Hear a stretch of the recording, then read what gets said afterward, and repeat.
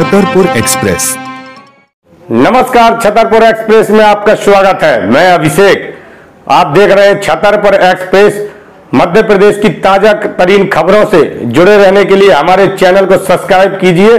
और छतरपुर एक्सप्रेस से जुड़े रहिए। पीएफ की मांग को लेकर जिला अस्पताल के सफ़ाई कर्मियों ने शुरू की हड़ताल। हड़ताल के दौरान नारेबाजी करती महिला कर्मचारी दमोह ज़िले सिविल सर्जन और आरएमओ आए दिन विवादों में रह रहे हैं। अभी पिछले दिनों सात से आठ अस्पताल के द्वारा एफआईआर दर्ज कराई जा चुकी है, जिसमें मरीज़ के परिजन से लेकर अस्पताल के कंप्यूटर ऑपरेटर तक कोतवाली जा चुके हैं। जिला अस्पताल में सेवाएँ देने वाले सफ़ाई कर्मियों ने गुरुवार सुबह से हड़ताल शुरू कर उनकी मांग थी कि बीते दो सालों से उनका पीएफ नहीं मिला। महज पाँच हज़ार रुपये में उन्हें अपना घर चलाना मुश्किल हो रहा। कई बार मांग की, लेकिन अस्पताल प्रबंधन के द्वारा कोई भी सुनवाई नहीं की जाती, इसलिए वह हड़ताल पर रहे हड़ताल की सूचना के बाद अस्पताल प्रबंधन ने दमोह एसडीएम आरएल बागरी को इस मामले की जानकारी दी। मौके पर पहुंचकर एसडीएम ने लोगों को समझाने का प्रयास किया, लेकिन कर्मचारी नहीं माने। इस दौरान एक महिला कर्मचारी के द्वारा लगातार हंगामा करने के कारण उसे नौकरी से हटाने के साथ ही उस पर मामला भी दर्ज कराया गया। महिला सफ़ाई कर्मचारियों का कहना था कि जब भी वह अपने हक के लिए मांग करते हैं तो उन्हें धमकाया जाता है। आज भी जब उन्होंने दो साल से पुराने पीएफ और वेतन वृद्धि की मांग की तो सिविल सर्जन राजेश नामदेव ने उन्हें धमकाया कि यदि वह हड़ताल करेंगे तो उन्हें काम से अलग कर दिया जाएगा। उनके खिलाफ एफआईआर दर्ज कराई जाएगी।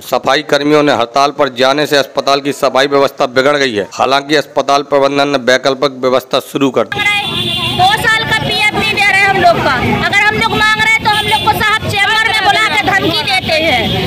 और पता है दस दिन की मोहलत छह महीना की मोहलत दे चुके हैं लोग को। अब हम लोग मोहलत नहीं लेंगे। धमकी किस प्रकार की दी है आपको? हमको दी है कि पैसे मांगोगे तो भगा देंगे। हमारा आदेश निकाल दिया है। किसने कहा है सिविल सर्जन ने। कैसा आदेश है? ये ये आदेश है कि लक्ष्मी को काम से हटाया जाए और बाकी लोगों को बाकी लोगों को लिया जाए क्यों बाकी लोग बोलते नहीं है वो लोग सीध रहे हैं हम बोलते हैं उनके विरोध में तो हम लोग को मतलब हमारा जब कोई टीम आती है तो भैया नाम दो सर हम लोग को ऐसा बताते हैं काम बताते हैं हम लोग सुनते हैं अपना हक मांग रहे थे इसमें क्या बुराई है बताओ इसके पहले भी आप लोग हड़ताल में बैठे थे तो सर ने ज़िम्मेदारी नहीं थी और धमकी देते हैं बोलते तुम लोग नेता बनती हो अगर ज़्यादा नेता बनोगे तो भगा देंगे। इसके पहले भी आप लोग हड़ताल पे बैठे थे किसके कहने पर आप बैठे थे? अभी तक आप लोग का पीएफ नहीं मिला। अब आए तो उनने पुलिस बुलाई हम लोग को भगाने के लिए और बोल रहे हैं कि लक्ष्मी पे धाराएँ लगाएँगे हम। केस बनाएँगे। आप लोग? हम पैसे चाहते और कुछ नहीं चाहते भैया। हम लोग का दो साल का पैसा चाहते हैं। आ रहे हैं ना? हमें तो पाँच हज़ार दे रहे हो। दो घर पे हैं क्या मांग थी आप लोग की? हमारे डेढ़ साल को पी एफ़ नहीं दे रहे पाँच हज़ार तनख्वाह दे रहे हैं ना तनख्वाह बढ़ा रहे हैं भैया हम लोग बोलते हैं हमारे विरोध में तो ये भगाते हैं। और ये विरोध में तो बोलता ही नहीं है आज कौन सा आदेश जारी हुआ आप लोग आदेश कौन सा जारी हुआ?